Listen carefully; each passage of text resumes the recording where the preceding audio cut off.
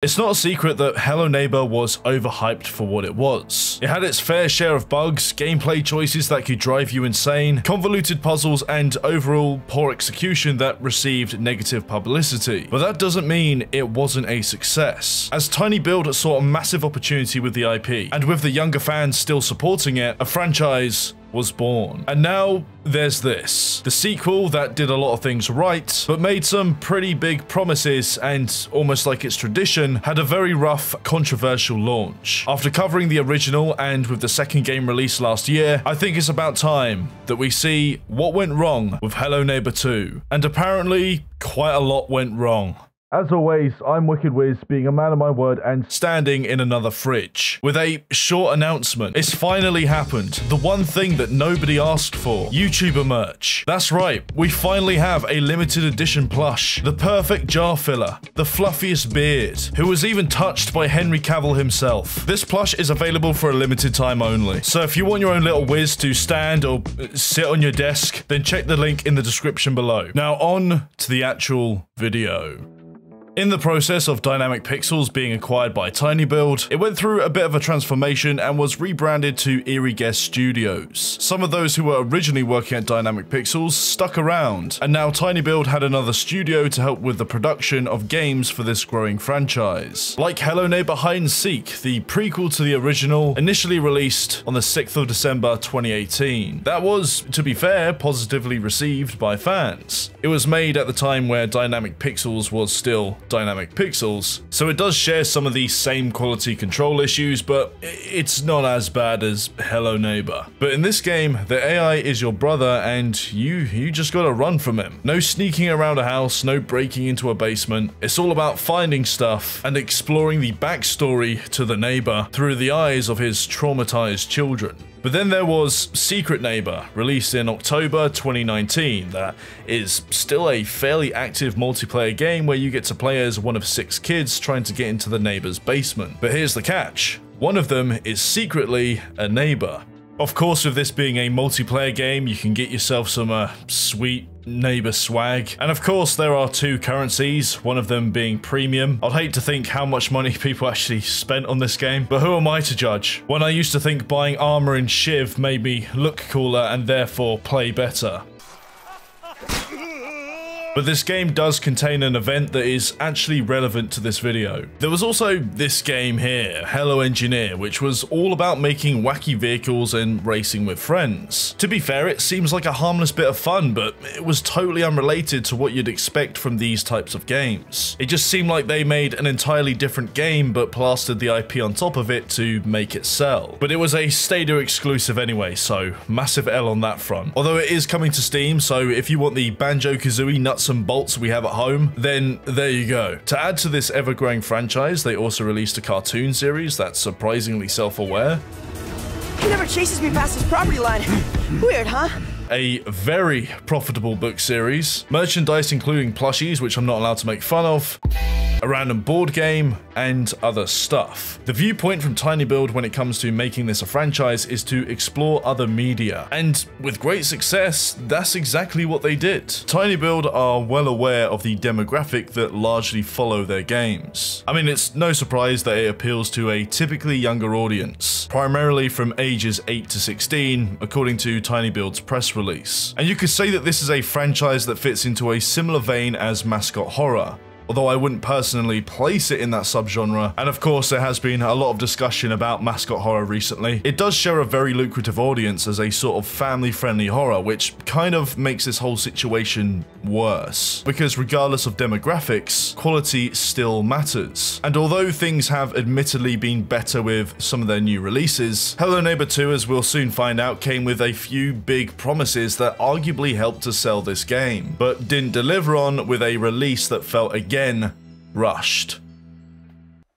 Our story with Hello Neighbor 2 actually begins with Secret Neighbor. More precisely, an event that gave the fans what they wanted, a mystery to be solved. It was called the Mayak event. Now, bear with me, there is quite a lot to this and an already well-made video that goes into detail about it. In the game, players found a pinboard with photos that spelt out forward slash HGP. This turned out to be an extension for the secretneighbor.com URL. If you put forward slash HGP at the end of it, then you'd get this big big red button that says don't press. Of course, people pressed the button and when they did, it would download a zip file. But to open it, you'd need a passcode. Where could people find this passcode? Well, around this time, a random door appeared on one of the maps with a question mark on the lock. In this game, doors like this typically come with numbers and there's always a corresponding key card that goes with it. But of course, this was a mystery that had to be solved and people went on the lookout for this key card. Eventually, some players noticed that there was a bird flying around the house and that if you shoot it, it drops the secret key card. Using it on the mysterious door leads you into a room with a teleporter and a printer. Now, there's no power in this room, but there was a wind turbine on the top of the house. So people quickly figured out that they needed to get it going just to power up this teleporter. However, to do this, you need to cause a storm, which is a whole other thing to figure out. But with the power on, players could finally use the teleporter and it led them into a room with nothing much besides a five light light combination below this screen. Players quickly found out that in the teleporter room, the printer had five lights, and all they had to do was have somebody teleport to the other side, read out the combination, and have someone else put it into the printer. Once done, it would print out a four character code, which was required to unlock the zip file. But here's the catch, the code was 80 characters long, so this whole process had to be done 20 times just to gain access. But with the code in hand and the zip file unlocked, you may wonder what's inside. Well, it's a game called Hello Guest, where you'll find yourself in a rundown theme park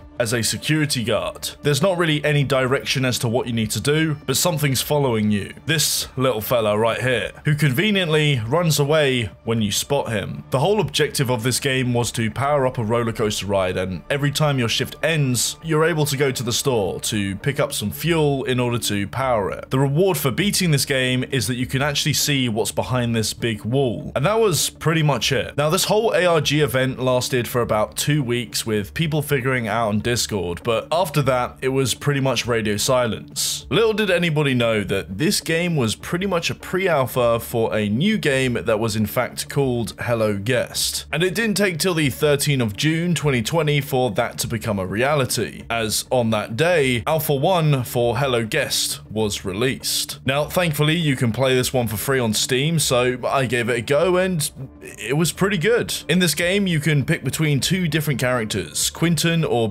Beatrix, and you'll find yourself, again, working the night shift as a security guard in a dilapidated amusement park. After a short cutscene, you'll walk down a path for a little bit and quickly notice that you're holding a map. Following this path, you'll hear a phone ringing in the distance, and it seems to be coming from your office. Once you make it inside and answer the phone, your objective is made clear by this checklist that tells you to check the top of the mountain. When you go outside, you'll get another cutscene that shows you something going on up on the mountain. So already the mystery has presented itself, but now you've got to find a way up there. And in true Hello Neighbor fashion, you're going to have to explore and piece things together to actually achieve this objective. For example, you'll notice this building, and to get access to it, you're going to need to open up this gate, which requires a key. After looking all over the place, I eventually discovered it in the attic of the office, which actually makes sense because the key would be somewhere in your office. Or you could just use a fire extinguisher to jump over the fence. Either way works. But while you're exploring, you'll also notice that there are a bunch of Hello Neighbor haters kicking the shit out of this already warped amusement park. This makes sense because you're at work and you're meant to do your job, which means you've also got to scare them away and uh, also watch them phase through giant walls. But there is something else out there, something clicking in the distance, who is of course the Birdman, the, the guest. Now, similar to the ARG, he only attacks you when you're not looking, which makes for some decent jump scares. Oh my god, he's right there. After every 15 minutes, your shift ends and you make some money. But you can also see that if you don't scare these vandals away, then you'll make less money. Which is pretty cool because you're meant to be just doing your job, but there's a mystery going on that you want to solve. Anyway, at this point, you can go on and continue your shift, or you can go to the store. And this is where money is important because in the store, you have a whole bunch of items to choose from that are necessary to making it up to the mountain. When exploring, you'll find another building with this long staircase and inside there are these separate rooms. And one that is blocked by a generator. This is actually a key item that you need along with cables to power up things such as this machine that combines objects into even more useful ones. For example, somehow I managed to make some springy shoes from a fire extinguisher and fuel. I don't know how, I don't know why, but the sound of these shoes is straight out of Looney Tunes. Oh, Anyway, after a while I figured out that you need to power up this building here with the generator to open the elevator doors within. The first door is a pretty simple timed sequence where you need to flip the switch that corresponds with the light, but the second door is a bit more difficult because it's all the way at the top of the elevator shaft. So with springy shoes and a fire extinguisher, which is basically a jetpack, I managed to propel myself upwards, but at the top there were also another set of lights. The problem is that the switches are all the way at the bottom and there's no way to complete this in time. However, you can use a camera and stick it up there to see what light turns on and there you go, puzzle solved. Once you make it up through the lift, you find yourself in this room. And there's not really anything here, but there is an opening to jump outside. And when you do, there's another cutscene.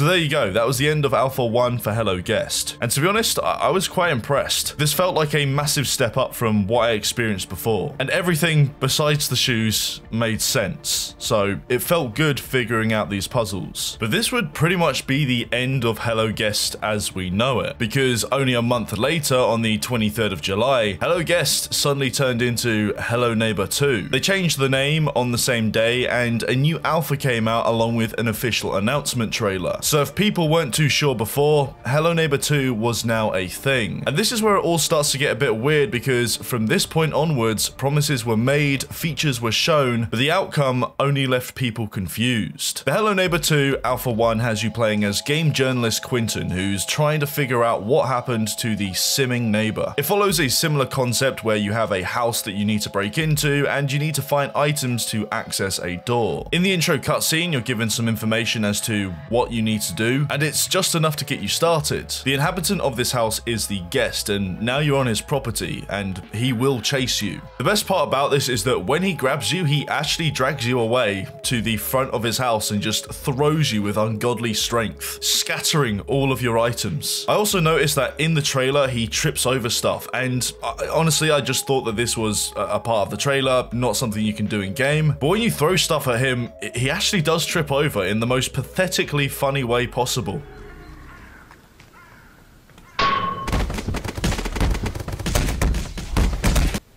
This really beats throwing something at the neighbor just for him to tank it and slow down for a second. It's I love it, man. Now, remember when I said Hello Neighbor had these nonsensical, convoluted puzzles in the last video? Well, I have to say, they've definitely improved a lot when it came to this alpha. For example, the guest has a bedroom with a key item in it, which is the crowbar, but it's locked by some key code. Instead of having to find the key code somewhere in the house or in one of the abandoned buildings, you're given a camera at the start of the game, and if you sneak up onto the top floor and place the camera pointing at the lock, then eventually you'll see the guest go into his room, but when he does, you get the code. To me, this is promising game design because you're given a tool that you're not too sure what to do with yet, but when you figure it out, it all makes sense. There's none of this find a random object and place it in random location to unlock a code. It's just common sense, and that's what I was looking for in the original. Anyway, When you go inside this room, you'll find the crowbar, but there's an issue. You've just pressed some loud buttons and he's probably on his way to get you. So you could run back and risk having your items thrown all over the place, or you can use the crowbar straight away on these planks of wood blocking the window. Again, this is competent game design. They introduce a new item and you're forced to use it straight away. The next challenge is now to find the key and it's in a fireplace that's sometimes on and sometimes off. And to get it, it requires timing and distractions. Fortunately for me, the guest bugged out on my van and I could just walk in and grab the key. But now with the key and the crowbar, I need to find a way to get into the attic. And at first, it doesn't seem too easy to get inside. But when you make it on top of the roof, you'll notice that there's this cable right above the attic door. At first glance, it doesn't really make sense as to why it would be here, but it's actually a hint. Because in this alpha and the alpha before it, you can swing with cables. So to me, it was quite clear that I needed to find a generator so I can swing off of the roof into the attic. At first, it was pretty difficult to find, but after the map, I could hear the noise of a generator near the supermarket. And this is the same supermarket from the last alpha, but this time it's all boarded up and out of service. So eventually I found the generator on the roof and it also came with another cable. I'm pretty sure I was meant to use this generator for something else, but after using the key and painstakingly trying to get these planks of wood off the door, I set up the generator on the roof and swung into the attic, which honestly was a pretty cool experience. Everything besides the guest getting stuck on my van felt like it was rooted in logic, at least for this universe. But anyway, inside this room, you'll find a costume. For who, we don't know, but after picking it up, it seems pretty clear because, oh my god, there he is.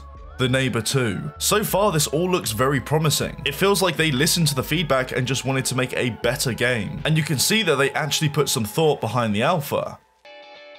October 2020 began with an announcement slash reveal of Alpha 1.5, saying that it would be released later that month on the 26th, and it was released on time. Not as a separate game, but as an update to the existing Alpha. Now, Alpha 1.5 is very similar to Alpha 1, but this time it's Halloween themed and the puzzles require a bit more work to figure them out. For example, the crowbar is stuck behind this fence and there's no way to get to it, but you'll notice that next to it there's a plug socket and a switch. When you use a generator to power whatever this is, you'll see that a conveyor belt below starts moving and it's clear that you need to get the crowbar on that conveyor belt. But how do you make it fall? Well, if you've used a fire extinguisher before, then you'll know that it has the ability to move objects. So if you use it on the crowbar, it will fall onto the conveyor belt and then it will be taken outside. All you have to do after that is just climb up onto the roof and there you go, you've got yourself the crowbar. The next item you need is the key, and it can again be found in a furnace. Although this time,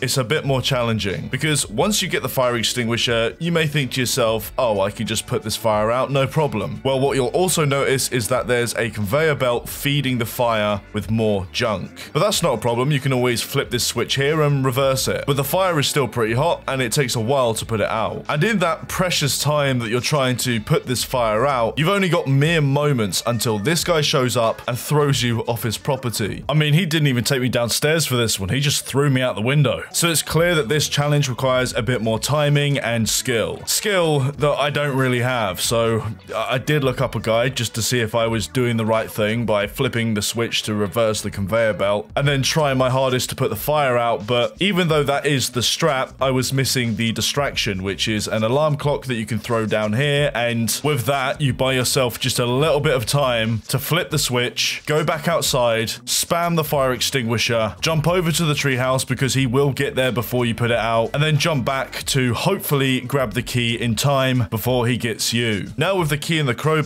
you can make it up to the attic, and in there you'll come to realize that you need to get something else. You need to get some candy for these totally alive abducted children. Now in the last alpha, I didn't mention this so much, but the rest of the map is filled with abandoned buildings, but they were more used as set pieces in that one. In this alpha, they actually serve a purpose, and each one have their own little puzzle to get them sweets. So once you've collected a few more and go back to the attic, you can put them in this basket and you'll see that there's a little fella in this room who gets closer each time. And when you place all of them into the basket, everything changes and there he is, the neighbor 2, stuck screaming for help. There were a couple of pretty cool features in these alphas. For example, when it comes to losing your items, you can either find them by looking for a swarm of crows hovering over them, which is a nicely themed and somewhat subtle cue to help you find lost items, or if the guest steals items from you, then you can find stuff in his fridge, which on its own doesn't sound that interesting. But the idea of retrieving confiscated items not only adds another layer of challenge, it's also much more creative than your items respawning where they originally were. I love the fact that when you get caught, instead of a repetitive animation and a fade to black, they give you a small chance to fight back when the guest drags you outside. You can actually throw stuff at him and he'll let go. Even when he does throw you outside, it doesn't feel like the game just reset itself. You actually feel like you're relentlessly invading this guy's space. And as a professional home invader,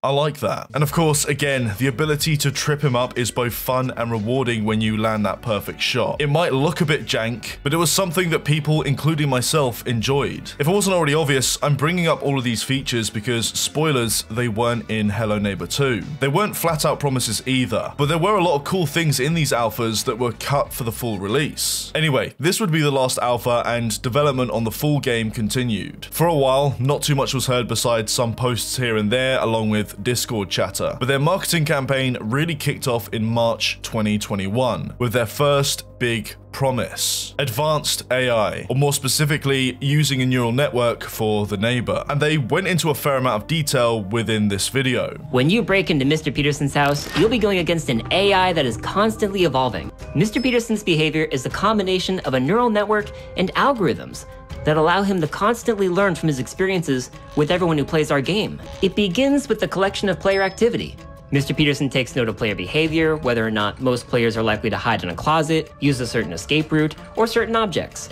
How Mr. Peterson plays in one encounter with you might be different from the next all due to his encounters with the game's community as a whole, allowing for an AI that is developed through community actions, replayability, and great stories of neighborhood shenanigans. This was arguably the largest selling point as it would mean that the game would have more replayability besides just new content and finding secrets. They also go on to say that this wouldn't just be for the neighbor but also for the other characters within this game. Now as a fun little tangent, I love watching videos about people teaching AI to play games. And I'm sure you've all seen this video here made by 2 Minute Papers, where OpenAI built a hide and seek game with two teams playing against each other. The blue team would hide and the red team would seek. In the beginning, like with most AI, it wasn't that smart, but per round, each team learned how to play and eventually how to play very effectively. For example, the blue team learned how to box themselves in, but then the red team learned how to use a ramp to get over. In response to this, the blue team learned that they could just take the ramp away or, even better, glitch it out of bounds. In another instance, the red team figured out that they could use a ramp to get on top of a box and surf it, which turned out to be an exploit in the game that they were more than capable of figuring out. Now imagine a much more complex environment and the amount of sessions required by the devs and community to get the neighbor to a playable state. This little hide and seek game took millions of rounds just for the AI to learn the basics. So how would that work in reality for this guy? I'm sure for those interested in AI, you probably have an answer already, but the question I have have is, what's the limit? Could the neighbor exploit the game and become some godlike creature? And if so, how would they cap it? It's not hard to imagine with the quality shown in previous games for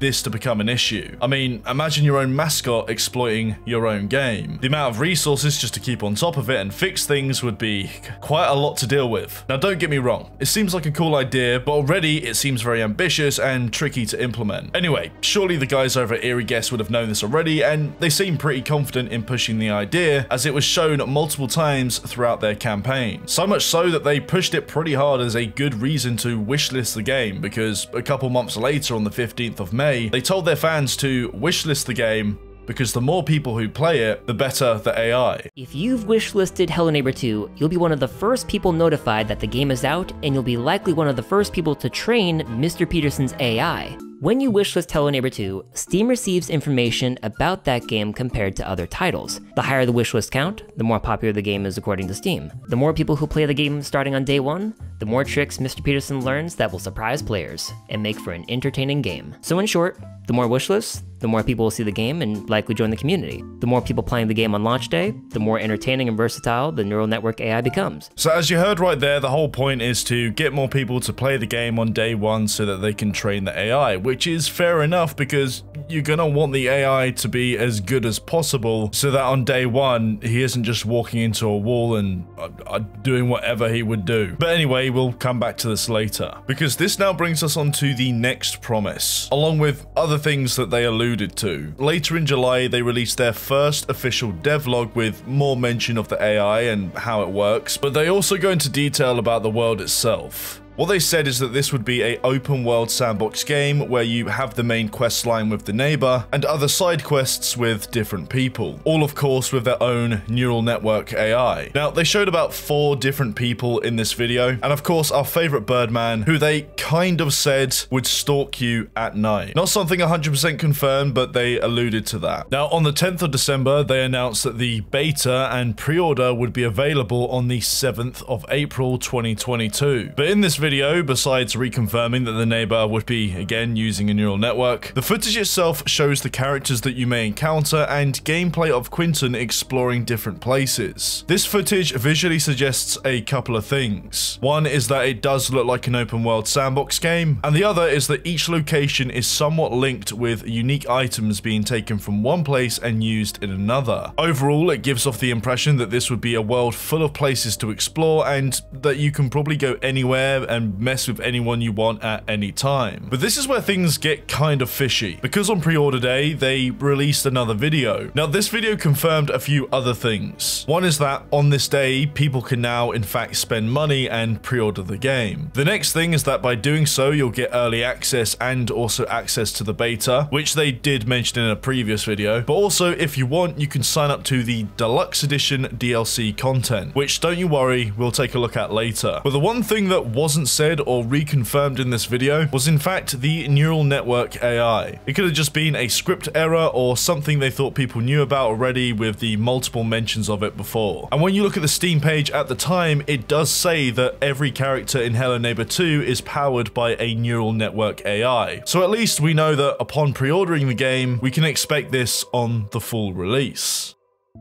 On the same day as pre-order, people could get a real taste for this game because on that day, the beta went live. Now I've played the beta and there are quite a few things that we'll see in the full release anyway, so I won't go into this step by step. But there are some positives and negatives that are worth addressing. First is that they hit the mark with a solid tutorial, where you fall into a barn and lose your camera. After getting up, you're immediately presented with a window and a board. Outside the window is a scarecrow and on the board it tells you to take a picture of it. So so it's made very clear that we need to get our camera back. In the process of retrieving your camera, the game teaches you the mechanics through action. And when you take a picture of the scarecrow, you'll very quickly find that the guest isn't happy and he's trying to break into the barn. But then he runs away, making you think that you have a clear exit, only for him to jump you again and realize that it was all just a dream, similar to the original, and that Quentin almost ended this game before it even started. But this was, as all tutorials should be, straightforward, short, and intuitive. Speaking of things that are intuitive, similar to Alpha 1 when we're introduced to the crowbar, a key item in this game, we can see whilst inside this basement that a crowbar is hanging off of a plank of wood, and the only way to get out is by using it on the same looking planks of wood nailed to the basement hatch. So again, we're introduced to a key item, and without being told, we already know what it's used for. When it comes to puzzles, we already know that things have improved since the original, but here for example, if it's not in a cutscene,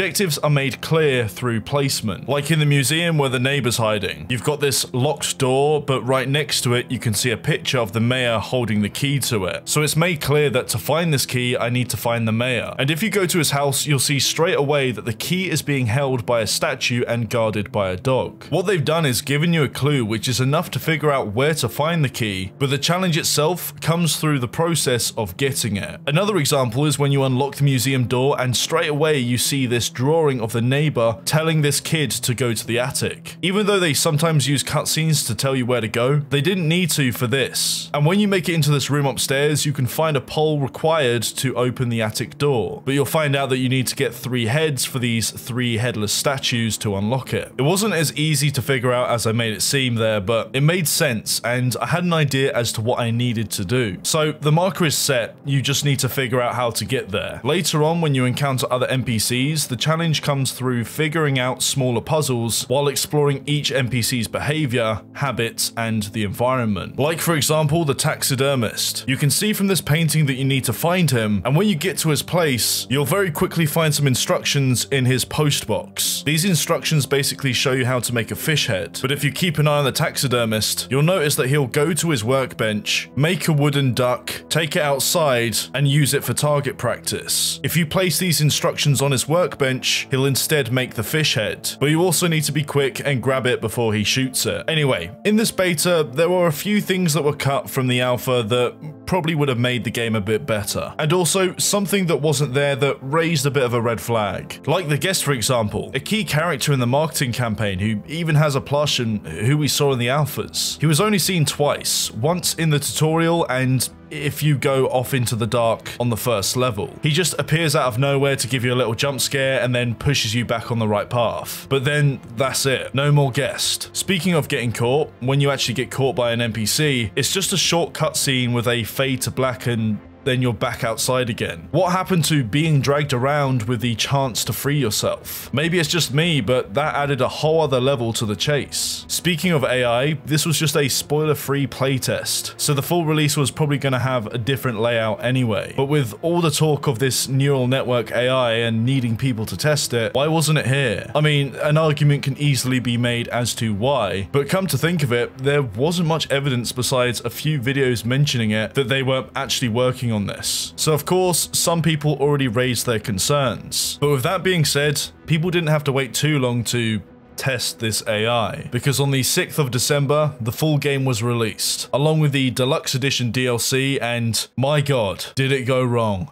There's quite a lot to go through here. I mean, for starters, you've got a lot of bugs and unpolished features. But then there are the big promises and the things that were alluded to which weren't in the game and still aren't months later. The first major thing is, of course, the much promised neural network AI. I know, it's a shock. It's almost like by focusing on it so much in this video, didn't give it away. This, of course, pissed people off because it wasn't just something that was said as a maybe or just some one-off thing that they alluded to. This was a pretty big selling point in the marketing campaign, to the point where even on pre-order day, people could see confirmation that the AI would in fact run on a neural network. Somewhere down the line it must have been cut, but you'd think that they would mention this at some point, right? Well, no they didn't. It looked like they had some secret operation to eliminate all mention of the neural network and do it progressively before release. As not long before release day, the description changed. Now, I can't find exactly when they first removed the mention of neural network AI on SteamDB, but it must have been sometime in November as on the 6th it was still mentioned. But here's where it gets worse. An active member from the Discord found that only two days before the pre-order early access, that the Steam description changed again, but this time they were caught in the act, showing a change from the neighbor is controlled by an AI that learns from the players, as time passes his behavior will change and surprise you, to just the neighbor is controlled by advanced AIs. The same person who called this out also shared a picture of someone raising concerns in October as to if the neural network was scrapped or not, with the lead game designer at the time Alexis saying, as I previously explained, any neural network is extremely dumb without proper training, and we can't train the AI on just a handful of play sessions from the devs. It's up for the community to make the AI learn from past mistakes. You could assume that from this one response that it would still be in the game, as well as the fact that in October, the Steam description still said that there would be neural network AI. While digging a little bit deeper, I noticed that the original game designer and creator of Hello Neighbor, Nikita Kolesnikov, who was also the brains behind the alphas of Hello Neighbor 2, was either demoted at some point or stepped down, with Alexis stepping in and making changes. It wasn't until the beta where people realized that quite a lot has changed. Anyway, this user was banned from the Discord for offensive behavior, and I couldn't find any more trace of this conversation. It also looks like Alexis stepped down at some point and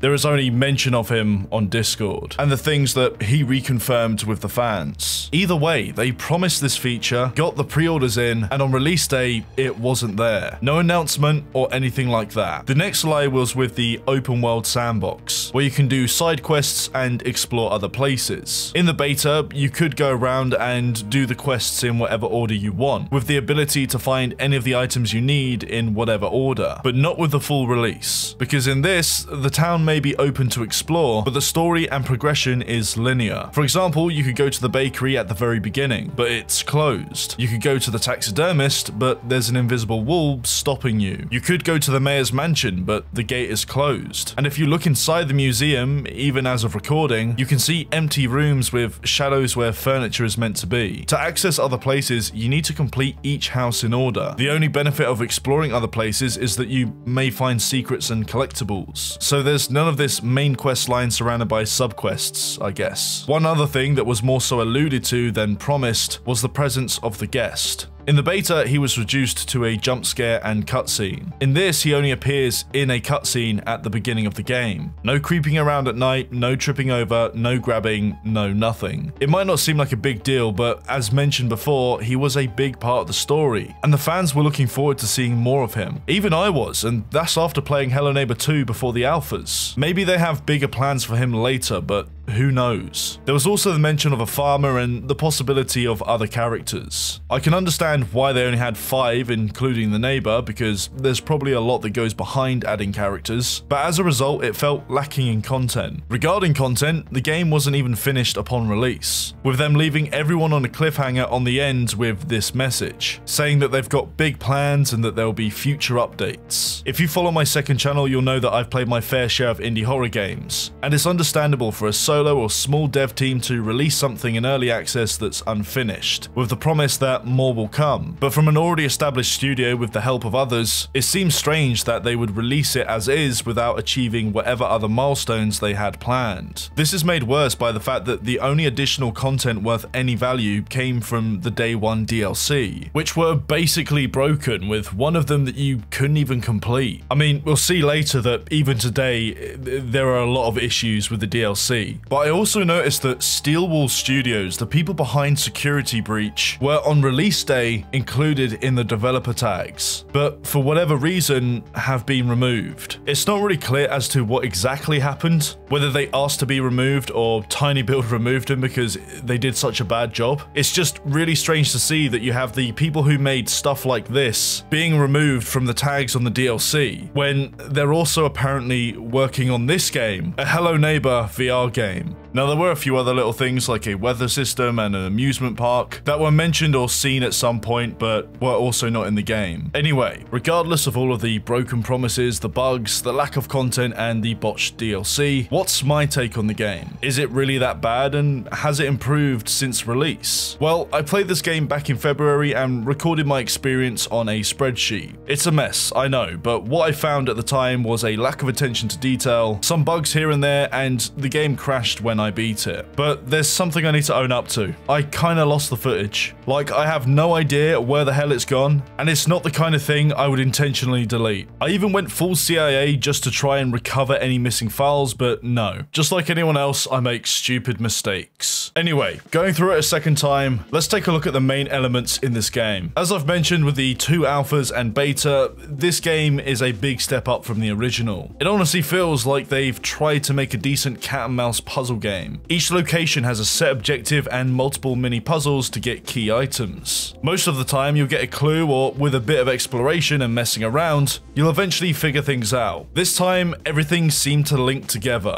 I mean, don't get me wrong, there were some weird puzzles and some objects that were so well hidden you wouldn't think that they were actually an item that you need. But at least compared to the original, everything makes a lot more sense. For example, these number blocks you'll find on the first level. At first, you'll have no idea what they're meant meant for, but then you'll find a room with a safe in it that requires a code. You'll also notice that next to it are some coloured flags and the number blocks are also coloured. Put two and two together and you'll realise that if you find all four blocks, you can figure out the code to the safe and get one of the keys to unlock the basement. Another example is with the baker. In her bedroom, you'll eventually find this hour hand for a clock. When you look about, you'll notice that it's meant for this clock and when you place it, nothing happens. At first I had no idea what was going on, but then I realised that there are a few digital clocks placed around. I also noticed that the time never changes, and they were set to 10.35. So if you match that on this one, you'll get one of the buttons that you need for the register to get a key. But there were some puzzles that didn't make sense because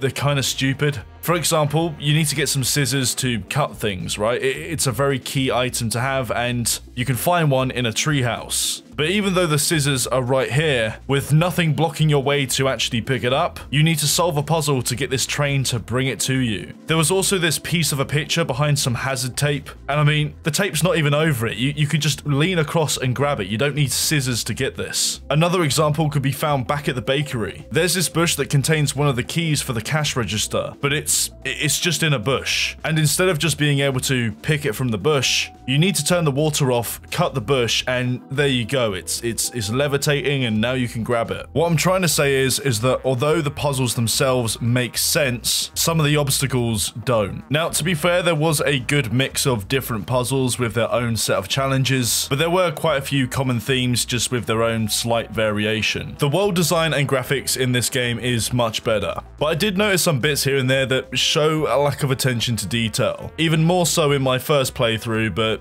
even playing it now, there are a few things here and there. Like for example, why is this box flickering when I get closer? Why is this box floating? Why is Quentin shoving his key into the dashboard? Why am I stuck in the bakery door? Why is the baker needing invisible dough? Why can I pick up this fire extinguisher from behind a locked case? In fact, why is my fire extinguisher enlarged after beating the game? And of course, more importantly, what happened to the glass? When you smash glass in this game, it just evaporates. Even the original had better glass effects. Now, I know I'm being pedantic, and it's much better than it was before, but this is just a reminder that it's the little things like this that can make a game seem rushed, even though this game was apparently in development for about five years. Anyway, the AI may not be using a neural network, but what's it like without it? Well, first off, it's very similar to the beta. The AI essentially has a few paths, and those paths seem to change when you're in different locations. And they're not too challenging either. You can just hide under stuff and they'll forget you're there, or stand in a corner oblivious to anything that's going on. I mean, this in particular didn't happen all the time, but when it did, it made things pretty easy. Now, in the original, the neighbor would lay traps and sort of adapt to your habits. However, I didn't notice this here. He only seemed to lay traps on the last level, and it also appeared to be at random. Either way, in my humble opinion, the saddest thing with the AI was the lost potential with the features that I've again mentioned before, with the grabbing and tripping over. In the alpha, there was context. You could see yourself getting thrown out, with a chance to save yourself. Similar to the beta, they went back to basics, with this cut to black and then you're outside again. I would have rated this higher if they explored those features in more detail, but I can understand why they probably removed them. Maybe they weren't optimized and it would have just added another layer of testing, but I think it would have made the AI at least more fun to mess with. We already know that from launch there wasn't that much content in the game, and there hasn't really been anything else added to it since then. But on my first playthrough, it didn't feel too bad. I mean, there were some nutty speedruns showing off a bunch of exploits, and some more seasoned players could finish the game anywhere between 4 to 6 hours. But for the price it's going for, you can definitely find something else with more content. But in all honesty, this is subjective. It really does depend on the person playing it and their familiarity with games like this. Now, they did post a 2023 roadmap,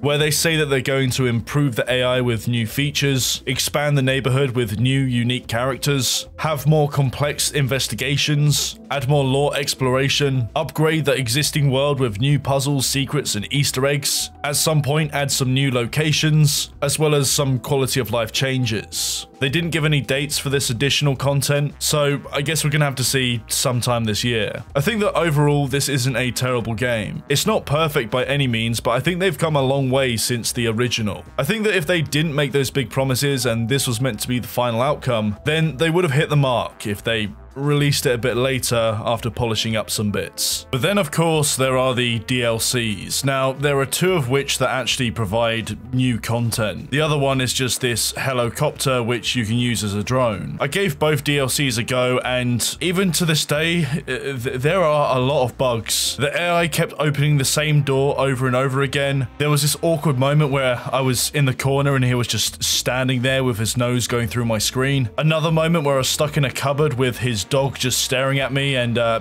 him trying to open the door. I was so stuck that I couldn't even open up the menu. So I got my drone just to see what was happening on the other side and it, it made for quite a weird looking moment. There are also quite a few times where the game crashed. For some reason, hiding next to desks uh, would crash my game. One time with the dog staring at me and another time literally doing nothing, just crouching behind a desk. Speaking of crashing, the physics in this DLC is very different to the main game. And I first noticed this by placing down a box that I had and it making this really odd sound. After kicking the box around for a little bit, the game also crashed. The level design and puzzles themselves weren't all too bad. It's quite a big level, so it's easy to get lost. But you see, there's this flagpole and you need to find the handle to raise the flag so that you can get a key. I found the handle, I placed it on the flagpole, and I raised the flag, which gave me said key. When I was looking around to see where I could use the key, I got caught by one of the dogs, and the item reset back to the pole, but instead of being down here, it, it was up here just menacingly floating there. And because the game thinks that I've already done the puzzle, I couldn't get the key down. I tried to fix this by loading the save and also closing and opening the game, but it became very clear that I had to restart the whole thing. The next DLC is the one that people literally couldn't complete on day one, but as of recording, there are still a lot of issues. Firstly, there was this really poor attention to detail. You could see window frames weren't even attached to the wall, some of the books were floating, this ladder just teleports you up to the top, and at the top, there's this gap on the roof but they forgot to patch it up so you can just see through the building. Speaking of gaps, they didn't patch this one. I managed to fall off the stairs and get stuck behind some bookcases, which uh, which is always nice. I found multiple cases of terrain just overlapping or cutting through things that it shouldn't. And when it comes to the bugs, the main bug I found was with the AI. For some reason, this woman really liked my drone and would just follow it. So I could herd her into this corner. Even when she was meant to be chasing me, and you can see here that she almost got me, but then went back to the drone. I actually played around with this a little bit, because with the drone, you can actually pick up items, and for some reason, I managed to detach this valve that I'm not meant to. I found that I could kind of make her levitate a little bit. But by doing this, I could see inside her hair. So if you wanted to know what she looks like without hair, there you go. The challenge with this one largely comes down to parkour. I mean, the idea is that the NPC won't go after you unless you run or jump or make any noise. So it does kind of make sense, but for the life of me, I just couldn't jump from these fans. When you jump close to a ledge, you can pull yourself up, but with the fans, eh, apparently not. And in the process of climbing in places, I managed to find two lamps merged together. It's almost as if they duplicated the asset, accidentally turned it, and then just forgot about it. Even to this day, I wouldn't really recommend these for the price they're going for. And it's no surprise that Steel Wool Studios were removed from the developer tags. I can't say for sure, but it's more than likely tinyBuild don't want people thinking that this game is going to be bad because of the DLC these guys worked on. And to be fair, it's not like the whole studio worked on the DLC anyway. But we're, we're just going to have to see how this turns out. Now, unfortunately, there is a bit of an elephant in the room. And it's something that I can't really confirm if it had a significant impact on development or not, or if it contributed to the issues. But it is something to consider, and I wouldn't be doing my job if I didn't address it. tinyBuild is a global company with many resources, many studios, and many employees dotted all over the world, including, of course, Ukraine and also Russia. If you're not oblivious to what's going on in the world today, you may notice that this could be a bit of an issue. I bring this up because in my research, I found this interview with less than a thousand views by Academy of Interactive Arts and Sciences, where Trent Kusters and the CEO of tinyBuild, Alex Nichiporchik, discuss the struggles through this time. To be very clear, this wasn't specifically about Hello Neighbor 2. It was released before it came out and there were no excuses made. This was about a company coming together and adapting to a life-threatening circumstance. To his credit, Alex mentioned that he sat on calls with the team discussing what might happen and when it did, without any hesitation, put their people first. In a short period of time, they moved as much of their Ukrainian workforce as they could to the other side of the country, with people who have never met in person coming together through such a chaotic time. But of course, there was also the issue of Russia. With many people fleeing before conscription, the company had to act fast and get people out of the country as soon as possible. There was nothing political about this. It was all about making sure that their people and their families